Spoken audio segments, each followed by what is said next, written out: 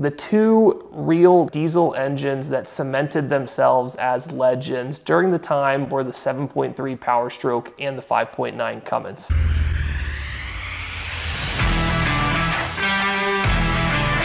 Hey guys, Jake from 8020 Media here. So in the late 90s, there was really a battle going on amongst all of the diesel manufacturers.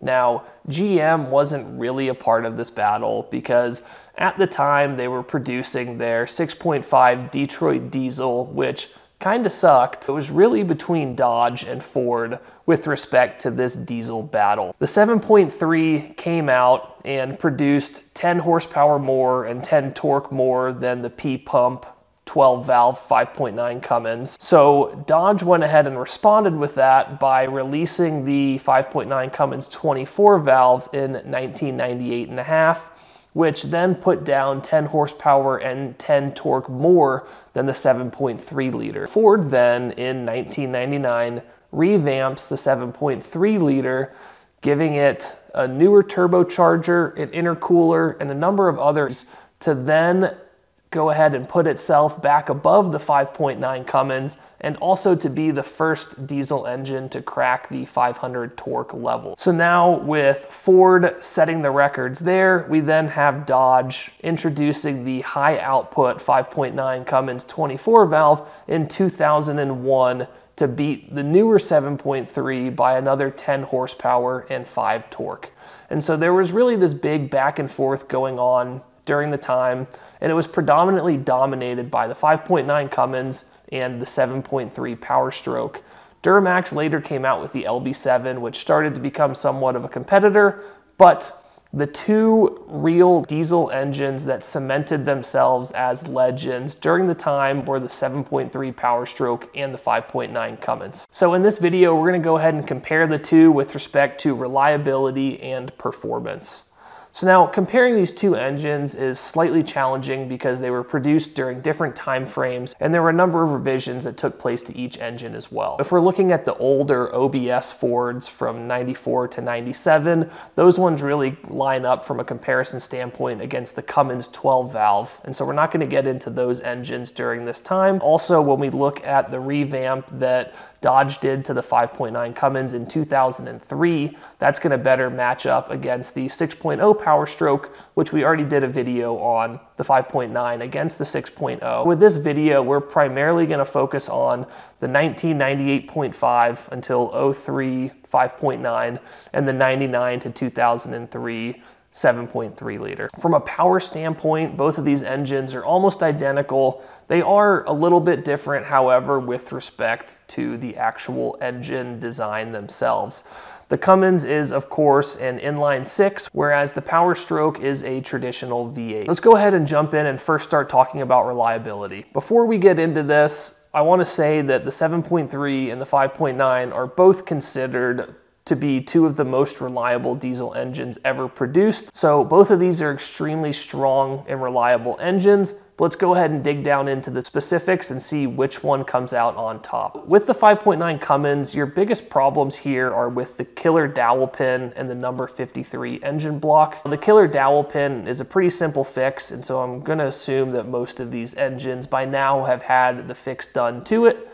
And the number 53 block crack issue is a very limited issue that only occurs to a specific number of vehicles. So long as you avoid the number 53 blocks and you get a 5.9 with the killer dowel pin fixed on it, there's really not very many catastrophic things that can go wrong with this engine but it does have a number of fueling related problems. So first off, the lift pump is prone to failure. When the lift pump fails, it pretty frequently takes out the VP44 injection pump along with it and the fuel injectors are known to leak as well. So the fueling system tends to be the worst part of the 5.9 Cummins 24 valve. And outside of that, your only real other problems is a small problem with the exhaust manifold cracking. Ultimately, these engines are easily good for 350,000 plus miles with proper maintenance. However, you might go through a lift pump and an injection pump and definitely some injectors by the time you get there. So now turning things over to the 7.3 Power Stroke, it's a little bit different in the sense that the 7.3 Power Stroke has a lot more problems, but the problems are a lot smaller in nature. There really aren't any material problems that can cause engine failure like the 5.9 has with the block cracking and with the killer dowel pin but there are a bunch of valves and a bunch of sensors that go bad on the 7.3, and a lot of these are related to the HEUI injection system. We have the crankshaft position sensor that goes bad, the IPR valve, the ICP sensor, the EBP valve, and a number of other smaller valves and components that fail pretty frequently on these things. And there's a lot of acronyms to go ahead and complicate things a little bit more. Outside of sensors and valves, you have some problems with the up pipes leaking from time to time, the fuel filter housing leaks, and then there is a slightly more rare problem with the push rods and the valve springs, which does become a little bit more of a problem as you start to do a higher horsepower build on it that we'll go ahead and discuss later. When we look at the 7.3, it's also extremely reliable. It shouldn't have a problem pushing 350,000 plus miles either. It just does so with more small problems, but it lacks the big problems that the 5.9 Cummins has. We're looking at a lot of 50 to $100 sensors here, whereas on the 5.9 Cummins, if your VP44 goes bad or your lift pump or your injectors go bad, you're gonna be looking at a lot more expensive of a repair. And so while the 5.9 has less problems, its problems are a little bit more expensive to take care of than with the 7.3. Really, when it comes down to it, it's kind of a tie. One of the things that I will say is a lot of people say that the 5.9 Cummins is the best engine put into the worst truck. I'm not really going to get into that in this video because we're talking about the engines here and not about the chassis and the front ends that these engines were put into. But a lot of people do have some complaints with the suspension and chassis components with the Dodges compared to the Fords. The Fords do tend to be a little bit more reliable of a chassis, but the engines themselves really is a tie here. Some people will say the 5.9 is better, some will say the 7.3. It really just depends on what your appetite is for more expensive failures or more cheaper failures. So if reliability is a tie, what about performance? from the factory, both of these engines were basically hand in hand. As we discussed earlier, one would come out with a change to get an extra 5 or 10 horsepower, and then Dodge would make a change, and then Ford again. And so these two engines were really neck and neck the whole times they were being produced.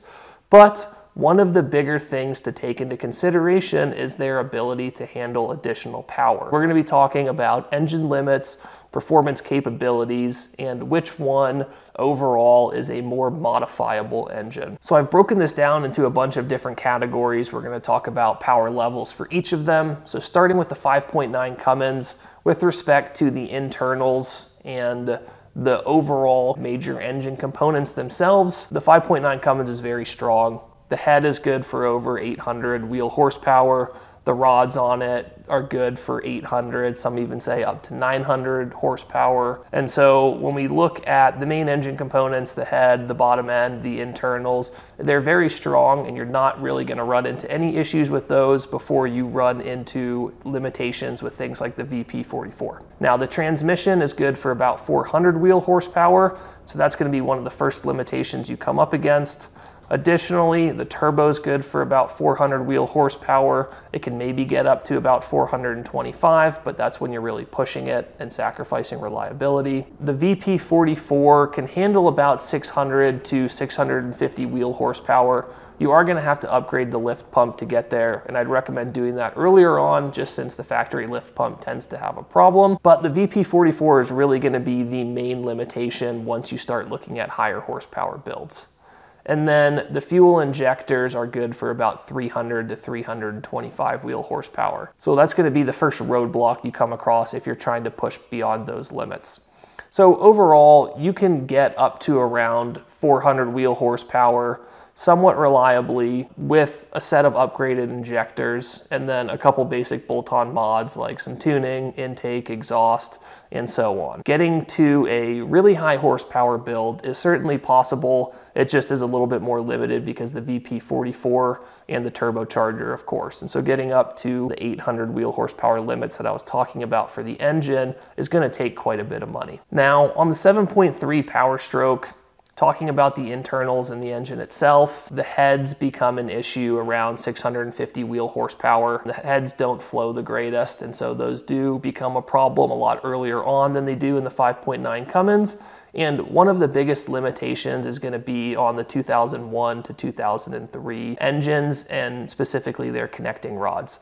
So from 2001 to 2003, they got powdered metal connecting rods, which can only handle about 450 to 500 wheel horsepower, which as discussed is part of the issue with the rods bending that I mentioned earlier. Now the 1994 through 2000 7.3s had forged rods, which are good for about 600 to 650 wheel horsepower. So overall, the 7.3 can't handle as much power as the 5.9 can on factory block, factory head, and factory internals. The transmission is good for 400 wheel horsepower. You can maybe get it up to 450 with proper transmission tuning, but again, that's gonna be a limitation similar to like you have on the 5.9 that's expensive to overcome. The turbo is good for about 400 wheel horsepower as well. The HEUI injection system is also going to be a big reason that getting these trucks beyond the 650 wheel horsepower mark is a problem. The HEUI injection system as well as the high pressure oil pump tend to be a limiting factor for big horsepower builds on the 7.3. And then the injectors are good for about 350 wheel horsepower. So this is a little bit better than on the 5.9 Cummins, but if you want to push those things past that, you're going to need to look at upgraded injectors. So you can pretty easily get to about 350 wheel horsepower on the 7.3 with some basic upgrades like tuning, exhaust, intake, maybe a boost fooler. And then if you want to push right up to 350, you might need to upgrade the injectors just since you'll be running them at capacity. But my point is you can get to that about 350 mark pretty easily and pretty cost effectively as well. It probably costs about 1500 bucks in mods to get there. Getting it to 400 to 450 is where it starts to get a lot more expensive because you're gonna have to look at a built transmission. You're definitely gonna need injector upgrades. And so getting to a reliable 400 plus wheel horsepower setup is going to cost you probably about 10 grand. Realistically, it's gonna cost about the same thing on the 5.9 Cummins once you have to build the transmission, do the injectors on there as well. When we look at basic power levels, getting these things to around the 350 wheel horsepower mark, they're both relatively comparable. But when it comes to very high horsepower builds, the 5.9 Cummins has an advantage just because the internals, the block and the heads can handle more power than on the 7.3 Power Stroke. Now, the VP44 and the HEUI injection systems are one of the main weak points for both of these engines, but there are people out there that are running 1,000 wheel horsepower VP44 setups and people running 1,000 wheel horsepower on the 7.3 with the HEUI injection system. So things can be done to get there. The question is just how much money are you willing to throw at these engines to produce those power levels. When it comes down to performance, I'm gonna give the win to the 5.9 Cummins here just because it is better for high horsepower builds. But the majority of us folks aren't doing that. And so really it comes down to personal preference if you're not looking to push past the five, 600 wheel horsepower mark. I myself own a 7.3 Power Stroke. No one that owns a 7.3 Power Stroke is gonna tell you you made a bad decision getting the 5.9 Cummins and vice versa. No one with the 5.9 Cummins is gonna say that the 7.3 was a mistake.